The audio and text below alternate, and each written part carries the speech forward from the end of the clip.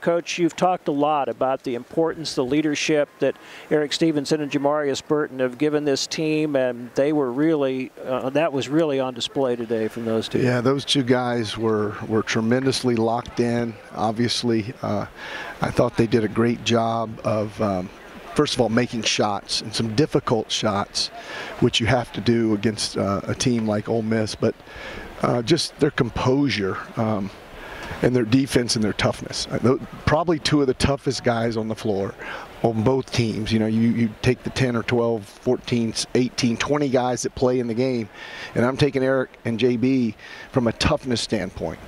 And uh, I just thought that they uh, did what they needed to do to, to make Erik made a ton of shots. JB made his like late clock. They were all clutch, it seemed. Yeah. And the defense that they played on Hinson and um, and Tyree were, was awesome. You know, and, and we felt like you had a 15-point lead at halftime, that this is a, a, dangerous Mississippi team that you, you needed to get off to a good start. You didn't score a lot right away in the half, but you kept making stops on them, never really got them going.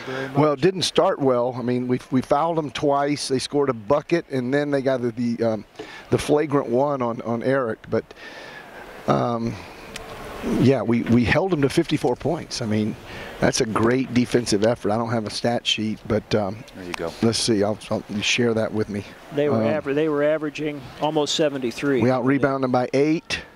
Okay. Um, we only turned the ball over 12 times against that that defense was unusual. And then at the end, boy, it got really really physical, as you know they they just you got to got to finish the game, and they were a little desperate. Sure. So we only turn it over 12 times. And look at the points off turnovers. 20 to 1. Points off turnovers 20 to 1. Well, that's taking care of the basketball. That's not even no no pick sixes, that's for sure. You had Sherfield in a lot this ball game against that pressure defense.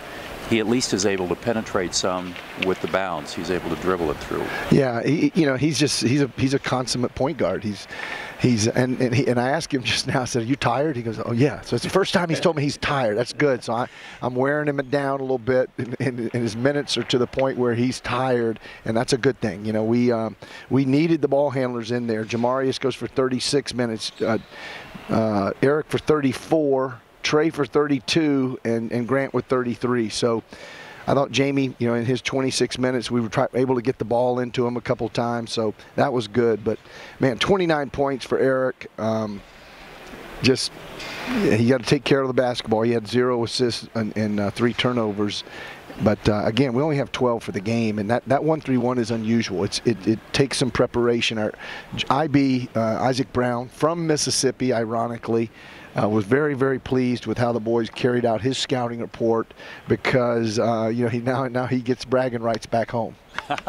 and played for Kermit Davis for absolutely a for a year at Texas A&M. Sure did. Now, in all four losses that Mississippi has had, they have shot 40% from the field or less and they shoot 50% quite frequently, but you've got to be really proud of the defensive effort. Yeah, we had a good game plan, and, and IB and I put a lot of time into it, but it was IB scout, and uh, to hold that team to 31, because uh, Brennan Breein Tyree has almost 1,600 points in his career. He is the career leader currently that's still playing in the SEC, and there's a lot of good players there. And uh, what do you have nine tonight on two for nine shooting? So the guys did a wonderful job of, of when he used that ball screen, I mean, he was usually encountering at least one more big body, and then we were picking the guys to uh, what we call tag and help off, off of as the ball screen is occurring, and those guys weren't able, they made one jump shot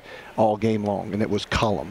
And it has to be pleasing. We talked about after the ECU game, didn't play great, played well, but but not super. And against uh, a more dangerous opponent today really came, raised the level back up and, and really responded well coming off of that game. Yeah, uh, and I told him, you know, that was a C, C minus effort. We were going to need a B, B plus effort to, to win this one, and um, we got it. We got it. We shot uh, 48%. They shoot 31. Um, you know, we didn't shoot three pointers very well, but – or free throws for that matter, still 67%, but we got to the line 33 times. You know, it was a very, very physical game, and uh, we just need to. Grant's Grant's going to make four better than four out of eight, and um, Mo only three of seven, but other than that, I thought uh, you know we just had a tremendous, tremendous team effort. It was a team effort, and and I told him again, I'm so excited because we've still got some good players that are not getting a great opportunity right now because when they do play, they, you know, they just don't have the groove. But when we get these guys going as well, I mean, it's going to be it's going to be fun. Big game coming up. Memphis here on Thursday. I know that uh, you haven't looked forward to it from the standpoint you've had a lot of other games to concentrate on, but this is one from before the season that loomed as a potentially really big game, and it certainly is now. Yeah, they lost today. I saw that game. So now we're we're 2-1, uh, and, and it's up to SMU and Vanderbilt, but we're 2-1 with the American uh, SEC Challenge, and um, that'll be the last game of the four games. But uh, I think um, the place will be rocking. I, I know Thursday night's going to be just one of those special nights in here, and uh, they're a tremendously talented team. They beat Ole Miss as well at home earlier in the year. I watched part of their game today as I was stressing about Ole Miss. Uh, they, they were down 21 with 10 minutes to go, and they came back and beat Penn State, a really, really good Penn State team, a Penn State team that should go to the NCAA tournament. So I knew the game wasn't over, and I kept telling the guys, the game is not over. We still have a lot of basketball to play, but you know we just did enough to keep that lead above 10 and eventually to 20. Congratulations. We'll look forward to Thursday night, Coach. Thanks, guys. Yeah, All right. appreciate it.